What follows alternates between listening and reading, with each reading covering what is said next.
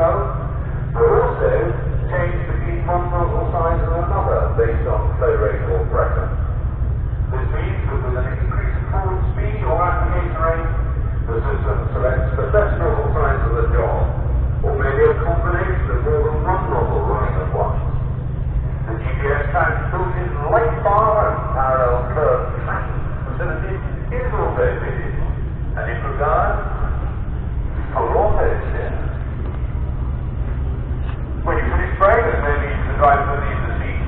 uh, the cab thrown over the agitation level tank, the internal tank wash out nozzle, and the movement and diving facility. So all the washing and cleaning can be done from inside the cab.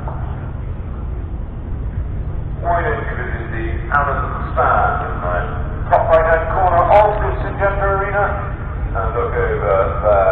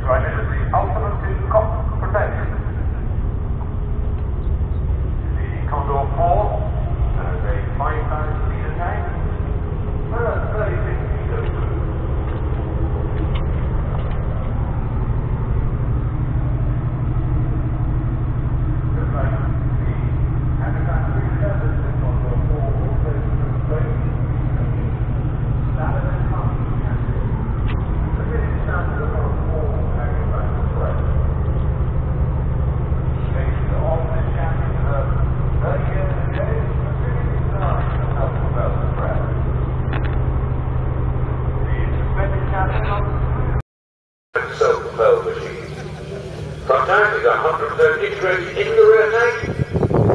Stays mixed, filled, emptied, more time, all as a pure extension of the rear tank without any additional operator involved.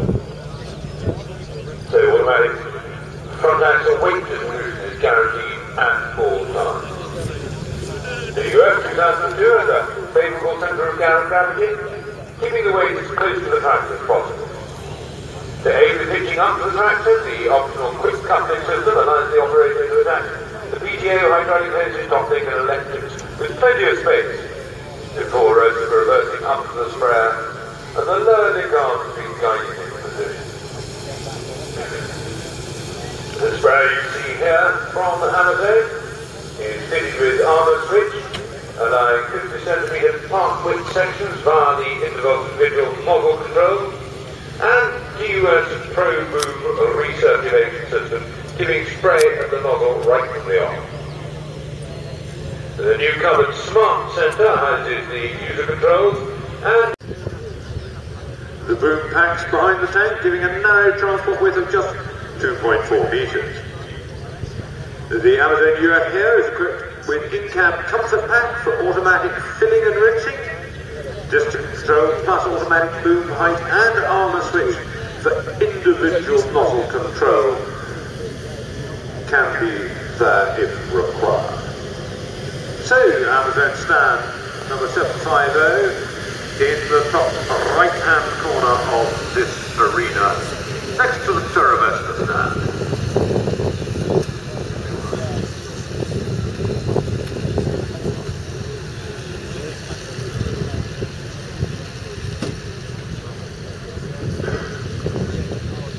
is from 1200 litres through to the market's largest mounted sprayer of 2200 feet.